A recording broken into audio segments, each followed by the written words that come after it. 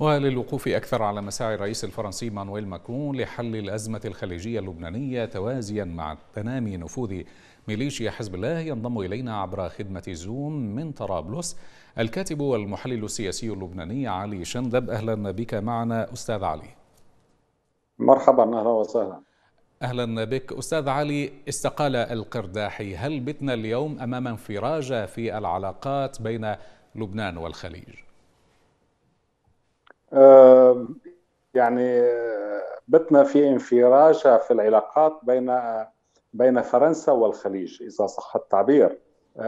وليس بين لأن مسألة استقالة القرداحي أو مسألة قطع العلاقات أو طرد السفراء اللبنانيين من دول الخليج وخاصة من السعودية هو في الحقيقة عبارة عن فيتو سعودي رفعته السعودية بوجه ماكرون بسبب أن ماكرون عمل صفقة مع الرئيس الإيراني إبراهيم رئيسي أنتجت حكومة لبنان وأنا أسميتها بالمكريسية السعودية لطالما نظر إليها الغرب وخاصة أوروبا والولايات المتحدة على أنها ممول لمشاريعهم في المنطقة.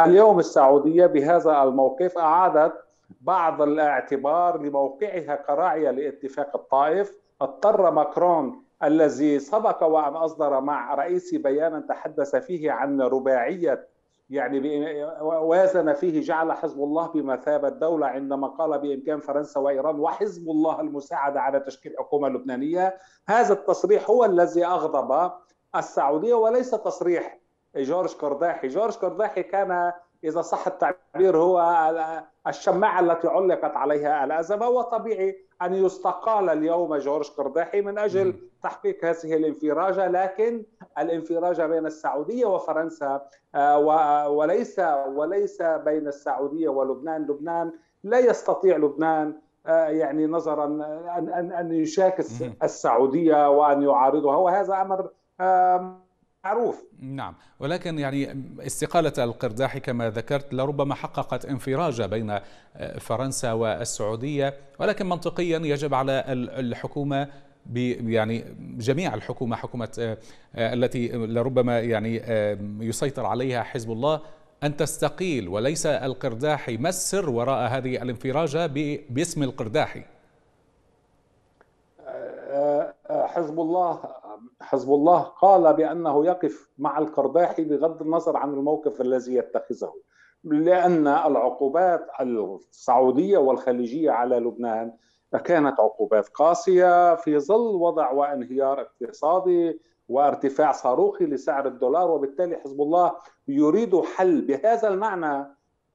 ماكرون أتى لإنقاذ حزب الله من هذه الورطة التي هو فيها. لماذا؟ لأن ماكرون أخذ صفقة في العراق بموافقة إيرانية وهو موعود بصفقة نفطية أيضا في جنوب لبنان بموافقة إيرانية وأيضا بتسهيل من حزب الله لأن لأن صفعة الغواصات الأمريكية التي صفقه صفعة الغواصات الأسترالية التي تلقتها فرنسا كسرت ظهرها من الناحية الاقتصادية وبالتالي هي الآن تبحث عن الفتات وتبحث أيضا عن محاولة التسلل بانتهازية رخيصه مع الأسف إلى دور متقدم على مسرح المنطقة. المسيحيون خاصة في لبنان اليوم يعني ما ما عاد هناك ما عادوا ينظرون إلى فرنسا كأم حنون للمناسبة. هم هم يعني نافرون من مواقف ماكرون الذي يعتقدون بأنه باعهم عندما تحدث عن مبادرة سياسية يكون حزب الله في صلبها. وهنا التناقض البارز البيان المشترك السعودي الفرنسي الذي صدر اليوم يتجاوز مسألة لبنان. ويتجاوز مسألة القرداحي هو نوع من خارطة طريق سعودية خليجية فرنسية إذا صح التعبير تبدأ من اليمن وصولا إلى فلسطين محتلة إلى سوريا ولبنان جزء منها طيب. لكنه الجزء وأيضا العراق لكنه الجزء النافر فيها. نعم. بخصوص لبنان الآن هل يبدو واقعيا ومتاحا فعلا إعادة العلاقات وإعادة الدعم الخليجي إن صح التعبير إلى لبنان؟ في ظل سيطرة حزب الله على مفاصل الدولة اللبنانية. البيان المشترك السعودي الفرنسي والذي نشره للمناسبة الجانب السعودي ركز على القرارات الدولية على حصر السلاح بيد الجيش اللبناني على ضبط الحدود والمخدرات و و و وتأكيد سيطرة الجيش اللبناني على هل كامل هل الأراضي اللبنانيه هل هذا يبدو شرطا وهذا هو يعني هو تركيز ولكن طبعاً. يبدو شرطا. طبعا طبعا هذا شرط. السعودية لن تقبل بأن تقدم أي دعم أو مساعدة لدولة يهيمن عليها حزب الله. وبالتالي بهذا المعنى يمكن القول بأنها قد ورطت ماكرون في هذا في هذا الموقف وأنها استقطبته إلى مربعها وإلى ما تطالب هي هي هي به. لقد أخذت السعودية مواقف سياسية مهمة من فرنسا بخصوص حرب اليمن وأيضا حول الإرهاب وأيضا حول تصنيفات إيران والمسيرات ومسألة العراق ومسألة سوريا أخذت وأيضا حول حول حول المخاطر التي تتهددها انطلاقا من لبنان سواء عبر خصوصا عبر تجارة المخدرات والتهديدات التي تتعرض لها في اليمن عبر لبنانيين من حزب الله يشرفون على هذه المسيرات والصواريخ البالستينية وهذا ما ركز عليه البيان السعودي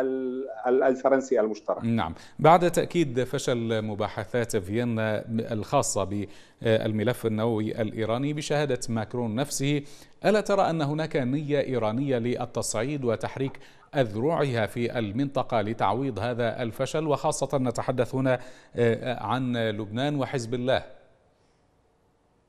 هذا هذا أمر هذا أمر وارد جدا المنطقة المنطقة تغلي. اليوم حصل في هناك هجوم حصل في نطنز ويعتقد بأن هذا الهجوم تقف يقف وراءه الكيان الإسرائيلي. أنا أعتقد بأن التموضع الفرنسي الجديد باتجاه موقف أقرب إلى السعودية يشي وكأن هناك في نوع من الاصطفاف الإقليمي الذي يعمل بمراوح متعددة. يبدو وكأن الخيار العسكري أحد مسارات هذه المروحة لتليين التضاريس الحادة في المنطقة. نعم إذا كنت ضيفنا عبر خدمة زوم من طرابلس الكاتب والمحلل السياسي اللبناني علي شندب. شكرا جزيلا لك.